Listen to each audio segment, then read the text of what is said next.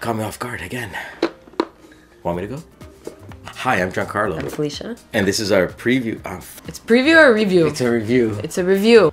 Right. this is our review of the lantern. My brother gave up. He's like sitting on the couch. down and he's he's like, like, like these guys. It's anymore." hot and they keep fing up everything. Um, By the way, you gotta have to bleep everything because it's a family game. families don't swear. Well, in Montreal, that's they why I do. learned how to Not in the states. The Harvest Festival is about to begin. As an artisan, you want to adorn the Palace Lake with the most beautiful arrangement of lanterns and earn the most honor points to win. Place the dedication tokens of same color type in three stacks in descending order. Remove any four dotted one in a three player game and the three dotted ones in a two player game. Place the three generic dedication tokens in a stack as well. Form a pool of favor tokens. Depending on the number of players, you'll place a certain number of lantern cards of each color in stacks to one side. 8 cards for 4 players, 7 cards for 3, and 5 for 2.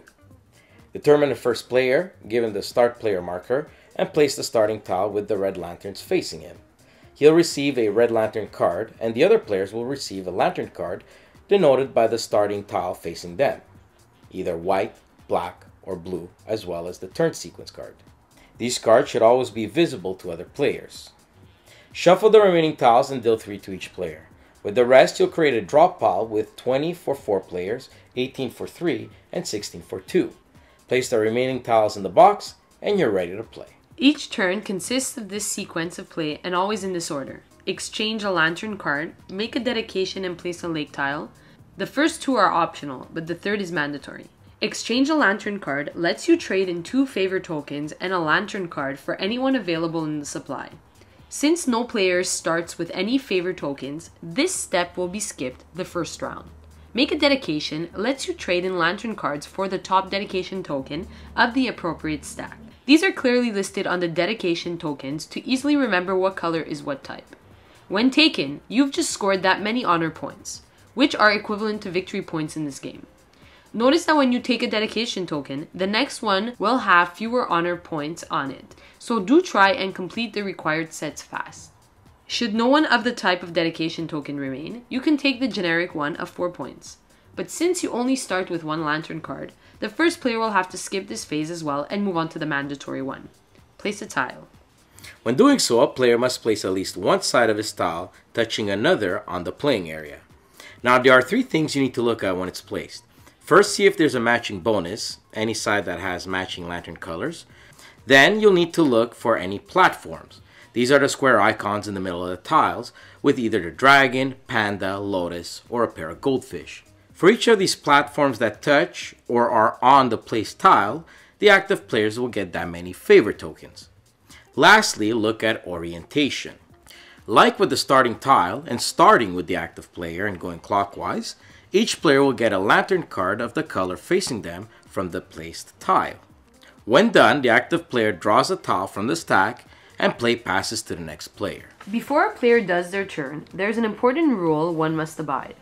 If they start their turn with more than 12 lantern cards in front of them, he must dedicate that turn or discard cards until he has 12 or fewer. Play continues until all tiles have been drawn from the stack and placed from each player's hand. When that happens, each player will have one final turn to exchange a lantern and or make a dedication. Players total their honor points from the dedication tokens and the player with the most wins. Should there be a tie, then the one with the most favor tokens between the tied players wins. Lanterns is quick, easy, flows well, and does its job as a casual game. We liked it, but we only wish it would have offered more difficult modes for more competitive players. The reason why we say this is because with so many lantern cards available and favor tokens, top placement is a little less important. Not that it's not important, just less important. Every player seemed to always be getting a lantern card during orientation as players quickly got their dedication tokens and the lantern cards would be returned. Only halfway through the game were people not getting their lantern cards because the supply was low. We played with removing an extra card at two players, so the 4 of a kind token was harder to get, yet gave us more points. And that made the tile placement more interesting and the player interaction was elevated, which Lantern still has as is, but it seems more of a given than a tactic or strategy mechanism. So, half a point there.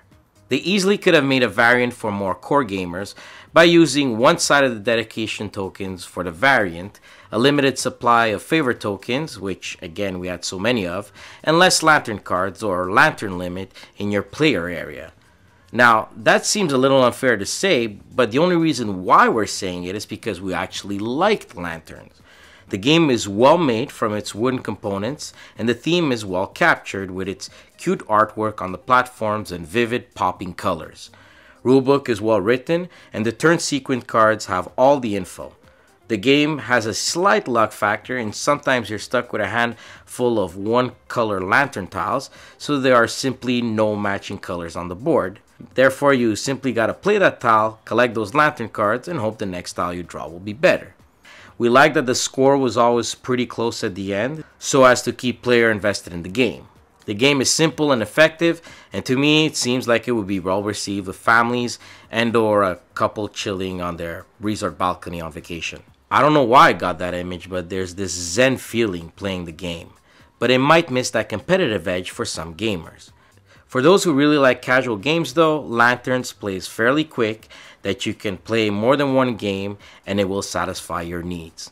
It gets 7.5 lanterns in the Palace Lake out of 10.